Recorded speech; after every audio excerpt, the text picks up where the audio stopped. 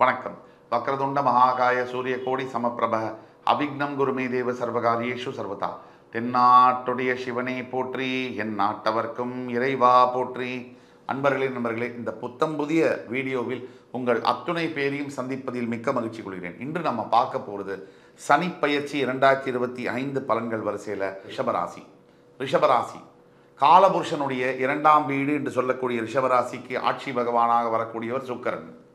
இங்கே வந்து கிருத்திகை ரோகிணி மிருகசீரிடம் மூன்று நட்சத்திரங்கள் வருது. இந்த மிருக ரிஷபராசியில் ஒரு ஸ்பெஷாலிட்டி என்னன்னு சொன்னால் ரிஷபராசிக்கு இந்த சனிப்பயிற்சி பலன்கள் இரண்டாயிரத்தி இருபத்தைந்து மிகவும் மிகவும் சாதகமாக இருக்குது அப்படிங்கிறத எப்படி சாதகமாக இருக்குது என்னெல்லாம் நல்ல பலன்கள் அப்படிங்கிறத விவரமாக நம்ம இந்த வீடியோ ஃபுல்லாக பார்ப்போம். ஏதாவது பிரச்சனை இருந்ததுன்னா அது எந்த பிரச்சனையாக இருக்க முடியும்? நம்ம என்ன தீர்வுகளை நோ- செய்யணும் அப்படிங்கிறத பற்றியும் நம்ம விரிவாக பார்க்கலாம். ரிஷபம். ரிஷபராசிகளுடைய தத்துவம் என்பது ரொம்ப பெரிய தத்துவம். அத்தனை பேருக்கும் நல்லதை செய்து மற்றவர்களுக்காகவே தன் வாழ்க்கையை வாழ்ந்து வாலண்டரியாக எல்லோருக்கும் நிறைய உதவிகளை செய்து மனம் நொந்து எதிர்பார்த்த அன்பும் நேர்மையும் காதலும் கிடைக்காமல் போக மனசெல்லாம் வந்து நொந்து போய் வாழ்க்கையை நடத்தி கொண்டிருக்கக்கூடிய அனைத்து ரிஷபராசி அன்பர்களுக்கும் இந்த வீடியோ நம்ம டெடிகேட் பண்ணுறோம் ரிஷபராசி. ரிஷபத்தில் பிறந்தவங்களுக்கு எது இருக்கோ இல்லையோ முக வசீகரம் என்பது இருக்கும். எண்ண ஓட்டங்கள் அதிகமாக இருக்கும். எதை நினைத்தாலும் அடுத்தது என்ன அப்படிங்கிறதுக்குள்ள மனசு போயிட்டே இருக்கும். ஒரு நிலையான இடத்துல மனம் என்பது தங்காது. இதெல்லாம் ரிஷபராசியுடைய அடிப்படையில் இருக்கக்கூடிய குணாதிசயங்கள். இப்போ சனிப்பயிற்சி இரண்டாயிரத்தி இருபத்தி ஐந்து மார்ச் இருபத்தி ஒன்பது ரெண்டாயிரத்தி இருபத்தி ஐந்தாம் தேதி அன்று கும்பத்தில் இருக்கக்கூடிய சனி பகவான் பெயர்ந்து மீனராசிக்கு பெயரவிருக்கிறார். இது ரிஷபத்திற்கு என்ன தாக்கத்தை கொடுக்கும்? இதுவரை பத்தாம் இடத்தில் இருந்து வந்த சனி பகவான் பதினோராம் இடத்திற்கு மார்ச் இருபத்தொன்பது வரப்போகிறார் சனி பயிற்சியை பொறுத்த வரைக்கும் எந்த பயிற்சிக்கும் இல்லாத சில விசேஷங்கள் உண்டு. சனி பகவான் மட்டும் ஒரு முழு பாவ கிரகம் ஒரு மனிதனின் வாழ்க்கையில் இருக்கக்கூடிய எல்லா விதமான கோளாறுகள் பிரச்சனைகள் தாக்கங்கள் தடைகள் தாமதங்கள் இழப்புகள் வேதனைகள் அவமானங்கள் அத்துணைக்கும் காரகத்துவமாக வரக்கூடியது சனி பகவான்.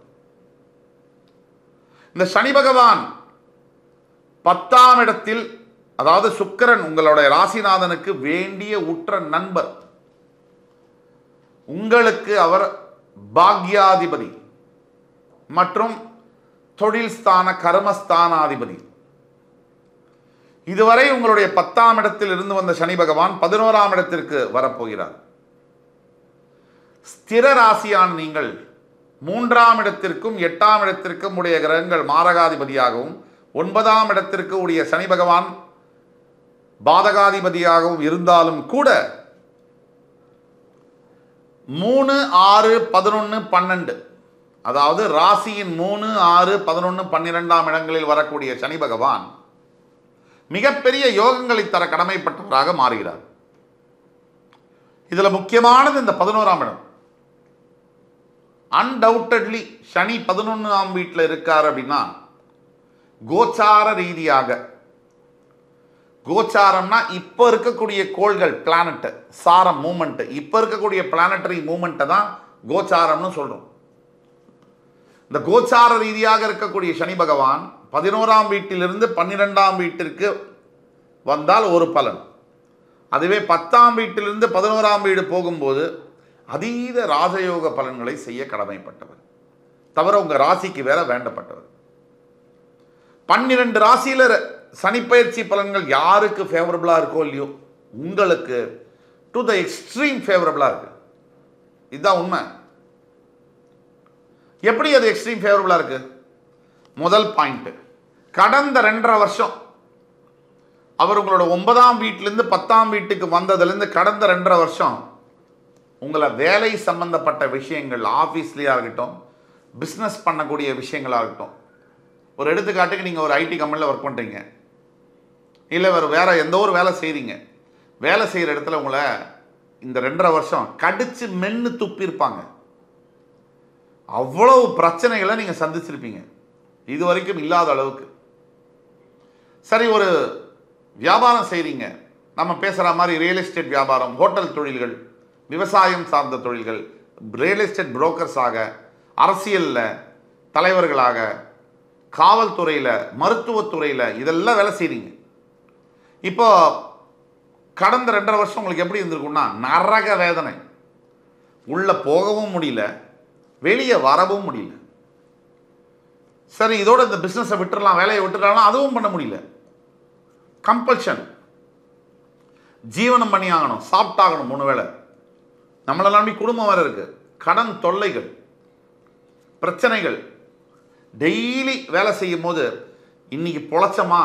உயிர் பொழைச்சி வீட்டுக்கு வந்தோமான்ற அளவுக்கு வேலை. இது இந்த மாதிரி அவஸ்தைப்பட்டீங்க இல்லையா? இதெல்லாம் மாறப்போகுது அப்படிங்கிறது தான் சத்தியமான உண்மை. ஹண்ட்ரட் பர்சன்ட் இந்த சனிப்பயிற்சி இரண்டாயிரத்தி இருபத்தி ஐந்து உங்களுக்கு நல்லது தான் நடக்கப் போகுது ரிஷபராசி அன்பர்களுக்கு. எல்லா விதமான அற்புதங்களும் நடக்கும். அதிசயங்களும் நடக்கும் கூட சொல்லலாம். இதுதான் உண்மை. கிட்டத்தட்ட முப்பது வருஷத்துக்கு அப்புறமா கிட்டத்தட்ட முப்பது வருஷத்துக்கு அப்புறமா உங்கள் வாழ்க்கையில் மிகப்பெரிய திருப்பங்கள் வரப்போகிறது. இதில் எந்த விதமான சேஞ்சஸும் இல்லை. தேர்ட்டி இயர்ஸ்க்கு அப்புறமா உங்கள் வாழ்க்கையில் டேர்னிங் பாயிண்ட் வரப்போகுது. பாசிட்டிவான மிகப்பெரிய அதிசயங்கள் நடக்க போகுது. அடுத்தபடியாக பல ரிஷபராசி என்பர்களுக்கு கடன் தொல்லையுடைய பாதிப்புகளும் கடன் தொல்லையினுடைய தாக்கங்களும் சகிச்சு கொள்ள முடியாத அளவுக்கு இருந்து வந்தது. இப்போ அந்த கடன் தொல்லையிலேருந்து விடுபடக்கூடிய சிக்னல் இப்போ ஆறு மாதம் இருக்கு இன்னும் சனிப்பயிற்சிக்கு இருந்தாலும் இப்போவே நல்ல விஷயங்கள் நடக்க தொடங்கும். அக்டோபர் மாதத்துலேருந்தே உங்களுக்கு வாழ்க்கையில் திருப்பங்கள் தெரியும். நல்லது நடக்கிறதுக்கு ஆரம்பிக்கும். ரிஷபராசி அன்பர்களை பொறுத்த வரைக்கும் கடன்கள் தொல்லையிலேருந்து நீங்கள் எவ்வளோ அவஸ்தப்பட்டீங்கன்றது எல்லாருக்குமே தெரியும். அந்த கடன் தொல்லையிலிருந்து நீங்கள் வெளியில் வந்து மிகப்பெரிய அளவில் சாதனை படைக்கப் போகிறீர்கள். நிம்மதியான வாழ்க்கையை வாழப் போகிறீர்கள். உங்களுடைய வாழ்நாள் முழுக்க சில டார்கெட்ஸ் இருக்கும். இதெல்லாம் அச்சீவ் பண்ணணும். இதெல்லாம் நம்ம வந்து வாங்கணும். ஒரு நல்ல வீடு வாங்கணும். நல்ல ஒரு வா கார் வாங்கணும். நல்ல பதவியில் உட்காரணும். இந்த கம்பெனியில் வேலை கிடைக்கணும். இந்த அளவு திருமணம் முடிக்கணும். இந்த நினைச்ச மணமகனையோ மணமகளையோ திருமணம் செய்ய வேண்டும். காதல் ஜெயிக்கணும். இது அத்தனையும் கண்டிப்பாக நிறைவேறும். நிச்சயம் நடக்கும். நம்பிக்கையோடு செயல்படுங்கள். தெய்வ விஷயங்களை பற்றி பேசும்போது சில அன்பர்கள் ரொம்ப நிறைய பேர் இல்லை தொண்ணூற்றி ஐந்து பேர் நல்லா தான் இருக்காங்க. நீங்கள் சொன்னீங்களே நடக்கலையே அப்படின்னா தெய்வ விஷயங்கள் பிரார்த்தனைகள் எல்லாமே நம்பிக்கைக்குரியது. அதை குவான்டிஃபை பண்ண முடியாது. ஒரு அஞ்சு சதவீதம் பேருக்கு நடக்காது. அதுக்கு காரணம் அவர்களுடைய கருமாவும் கூட காரணம். ஒரு தொண்ணூத்தைந்து சதவீதம் பேருக்கு நடக்கும். நாம நல்ல எண்ணத்தோட பக்தியோடையும் கடவுள்கிட்ட போய் உண்மையான டெடிகேஷனோடையும் இருக்கும்போது சத்தியமாக நடக்கும். நாம் நம்ம மனசில் வேறு ஏதோ அழுக்க வச்சுக்கிட்டு நம்ம போனோம்னா நமக்கு அது நடக்காமல் போகக்கூடிய வாய்ப்புகள் அதிகம். இவ்வளவுதான் வித்தியாசம். எல்லாருக்கும் ஒரே சாமி தான் எல்லாருக்கும் ஒரே ஆசை தான் ஒரே எண்ணம் தான். ஜெயிக்கிறது ஒரு சில பேர் அதுக்கு காரணம் உங்களுடைய முயற்சி உங்களுடைய எண்ணங்கள். இது ரெண்டு தான். இது எல்லாத்துக்கும் மேலே கடவுள் உங்களுக்கு அமைச்ச விதி. அந்த விதியவே மாற்றக்கூடியது உங்களுடைய எண்ணங்களும் முயற்சிகளும். வியாபாரம் செய்யக்கூடிய அனைத்து ரிஷபராசி என்பவர்களுக்கும் மிகப்பெரிய அளவில் லாபங்களில் வந்து ப்ராஃபிட் வந்து மிகப்பெரிய அளவில் பல மடங்கு அதிகரிக்கும். நான் சொன்ன வியாபாரங்கள்லாம் ஹோட்டல் ரியல் எஸ்டேட்டு அரசியல் அப்புறம் வந்து காவல்துறையாக இருக்கட்டும் வேலையை செய்யக்கூடியவர்களாகட்டும் இல்லை மக்கள் சேவையில் இருக்கக்கூடியவர்கள் பல பேர் வந்து உங்களுடைய பொருளாதார வரவு என்பது மிகப்பெரிய அளவில் ப்ராஃபிட் வந்து அதிகரிக்கலாம். இது வந்து நிச்சயமாக நடக்கும். அதே மாதிரி வந்து பெற்ற பசங்களால் சில பிரச்சனைகள் வரும். கண்டிப்பாக குழந்தைகள்னால சில பிரச்சனைகள் வரும். அதை நம்ம சமாளிக்க தான் வேணும். உடல் ஆரோக்கியத்தில் சம்மந்தப்பட்ட பிரச்சனைகள் வரலாம் குழந்தைகளுக்கு. உடனே ஜாக்கிரதையாக அதை ஹேண்டில் பண்ணும். உங்களுடைய சுய ஜாதகம் இதை யார் பார்த்துக்கிட்டு இருக்கீங்களோ ரிஷபராசி யாராக இருந்தாலும் உங்களுடைய சுய ஜாதகத்தை கீழே கொடுக்கப்பட்டுள்ள வாட்ஸ்அப் நம்பரை எங்களை காண்டாக்ட் பண்ணி பண்ணால் மட்டும்தான் உங்களுக்கான எதிர்கால பலன்களை துல்லியமாக கணித்து தர கூற முடியும். நாம் இப்போ பேசக்கூடிய இதெல்லாம் பொது பலன்களே. உங்களோட சுய ஜாதகம் தனிப்பட்ட உங்களோட ஹாரஸ்கோப் பார்த்தா தான் துல்லியமாக நாங்களால் ப்ரிடிக்ட் பண்ணி சொல்ல முடியும். அதே மாதிரி பல வருஷமாக மேரேஜுக்காக வெயிட் பண்ண இருக்கக்கூடிய ரிஷபராசி அன்பர்களுக்கு இந்த வருஷம் முடிஞ்சு அடுத்த வருஷம் மார்ச் இருபத்தி ஒன்பதாம் தேதிக்கு அப்புறமா மேரேஜ் நடக்கக்கூடிய பாசிபிலிட்டிஸ் மிக மிக அதிகம்.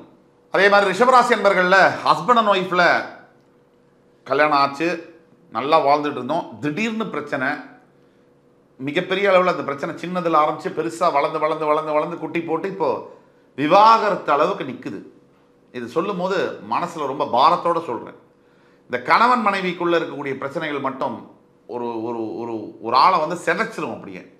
அந்த பிரச்சனைகள் இருக்கக்கூடியவங்களுக்கு ஒரு நற்செய்தி என்னென்னா இப்போ நீங்கள் பேச்சுவார்த்தையை ஆரம்பிச்சிங்கன்னா சுமூகமாக முடியும்.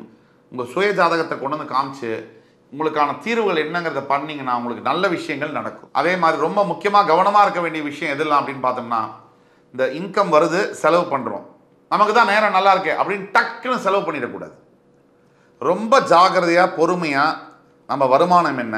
நாம் யார்? நம்ம எந்த நிலமையில் இருக்கோம் நமக்கு எது தேவை எது தேவையில்லை இதெல்லாம் யோசித்து செலவு பண்ணணும்.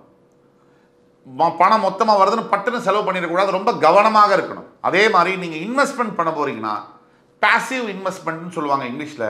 தேவையில்லாத இடத்துல தேவையில்லாத வகையில் மிகப்பெரிய பணத்தை வந்து முடக்கிறது இதெல்லாம் பண்ணக்கூடாது. இன்வெஸ்ட்மெண்ட்டை பிரித்து போடணும். டைவர்சிஃபைடு இன்வெஸ்ட்மெண்ட்னு சொல்லக்கூடிய அளவில் நீங்கள் இன்வெஸ்ட்மெண்ட் பாலிசியை மேற்கொள்ளணும். என்னதான் சனி பகவான் பதினோராம் இடத்திற்கு வந்தாலும் உங்களுக்கு உங்களுடைய ஹெல்த்தில் சில கான்சிக்வன்சஸ் அவர் கொடுப்பார். கண்டிப்பாக அவர் உங்களுடைய பாதகாதிபதி அப்படிங்கிறதுனால கண்டிப்பாக ஹெல்த் கான்சிக்வன்சஸ் இருக்குது அதை மட்டும் நீங்கள் கவனமாக பார்த்துக்கணும். எந்தெந்த வகையில்? வெளியில் போய் ஹோட்டல் ஃபுட் அதிகமாக சாப்பிட்றது வெளியில் வந்து அஜீரணமாகாத ஃப்ரைடு ஐட்டம்ஸை சாப்பிட்றது தேவையில்லாத உணவுகளை அதிகமாக சாப்பிட்றது எக்ஸ்ட்ராவாக சாப்பிட்றது தேவையில்லாத நேரத்தில் சாப்பிட்றது. இது ரெண்டுமே உங்களுடைய ஹெல்த்தை வந்து காலி பண்ணிடும் நீங்கள் கவனமாக இருந்தால் மட்டும்தான் தப்பிக்க முடியும். ஹெல்த் இஸ் வெல்த் நீங்கள் நல்லா இல்லைன்னு சொன்னால் ஐம்பது கோடி ரூபாய் சம்பாதிச்சாலும் ஒரே ஒரு மூணு மாதம் ஹாஸ்பிட்டலில் இருந்தீங்கன்னா அத்தனை பைசாவும் காலியாயிரும் அது மட்டும் இல்லாமல் வலி வேறு. மனசுலையும் சரி உடல்லையும் சரி வலியாகவும் இருக்கும். அதனால் ஜாக்கிரதையாக இருக்க வேண்டியது அவசியம். தீர்வுகளை நோக்கி நம்ம பேசும்போது சனி பகவானுடைய தீர்வுகளில் முக்கியமான முதல் தீர்வு ரிஷபராசி என்பவர்களுக்கு முடிஞ்சால் திருநள்ளாறில் இருக்கக்கூடிய காரைக்கால் பக்கத்தில் இருக்கக்கூடிய திருநள்ளாறில் இருக்கக்கூடிய தர்பாரண்யேஸ்வரர் சந்நிதிக்கு சென்று வந்து நலதீர்த்தத்தில் நீராடி அவருக்கு ஒரு அபிஷேகம் செய்து தான தர்மங்களை செய்ய வேண்டும். சனி பகவானுடைய காயத்ரி மந்திரம் ஓம் காகத்வஜாய வித்மஹி கட்கஹஸ்தாய தீமை தன்னோ மந்த பிரஜோதயாக இந்த மந்திரத்தை நூற்றி எட்டு முறை தினமும் ஜபம் செய்யணும். மூணாவது எல்லா ராசிக்கும் சொல்கிறது தான் தான தர்மங்களை தவறாமல் செய்ய வேண்டும். உங்களுக்கு முடிஞ்ச அளவுக்கு ஏழை எளியவர்களுக்கு சாப்பாடு கொடுக்கறது உங்களால் முடிஞ்ச ஆடைகளை கொடுக்கறது உங்களால் முடிஞ்ச படிப்புக்கு ஹெல்ப் பண்ணுறது கல்யாணத்துக்கு ஹெல்ப் பண்ணுறது இதெல்லாம் செய்யும் பொழுது பிறவியற்ற பலனை கொடுப்பார் சனி பகவான். பிறவியே இல்லாத ஒரு ஒரு முக்தி நிலையை கொடுப்பார் சனி பகவான். சனி பகவான் கொடுக்கக்கூடியது அத்தனையும் அனுபவமே. அவர் கொடுக்கறது அடியல்ல என்பதை மனதில் நிறுத்தி மறுபடியும் உங்கள் எல்லோரையும் சந்திக்கும் வரை என் உயிரினும் மேலான ரிஷபராசி என்பர்களுக்கு வாழ்த்துக்களையும் வணக்கங்களையும் கூறி விடைபெறுவது உங்கள் சுபாஷ் பாலகிருஷ்ணன். நன்றி வணக்கம். வாழ்க வளமுடன்.